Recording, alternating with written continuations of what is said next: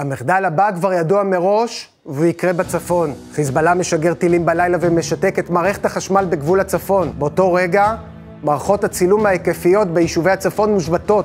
החמ"לים וכיתות הכוננות בתוך היישובים קורסים, כל תחת חשיכה. למרכזי רפואת החירום באזור אין חשמל. הם עוצרים את קליטת כל הפצועים שזורמים אליהם. מרכזי החירום בצפון קורסים ואין מענה לתושבים במצוקה. ואז, כשמספר הקורבנות המטורף ייחשף עם זריחת החמה, ישאלו בערוצים איך יכול להיות שמדינת ישראל לא סיפקה גנרטורים למתקנים הכי קריטיים על גבול הצפון? והתשובה ידועה מראש, סמוטריץ'.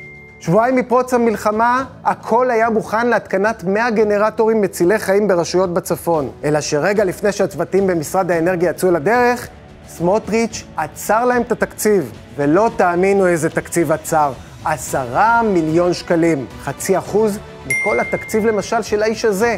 יצחק שמעון וסרלוף, דווקא למשרד שלו, לחוסר בחוסן לאומי והתעלמות מנגב והגליל, סמוטריץ' לא עצר שקל מהתקציב. וגם לא לזה, ולא לזה, לא לזה, ולא לאף פרזיט אחר שיושב היום במשרד ממשלתי מיותר. במקום זה, הם שלחו את ראשי הרשויות בצפון לחפש גנרטורים במשרד הפנים. רק שתקלטו את הבדיחה, למשרד הפנים אין כסף ואין גנרטורים.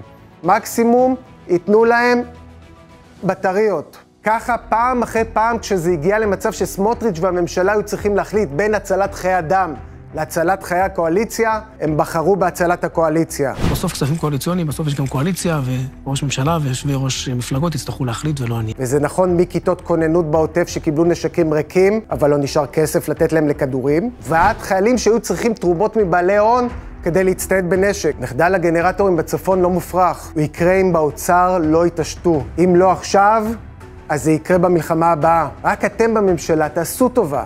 אל תגידו אחר כך, לא ידענו, לא אמרו לנו.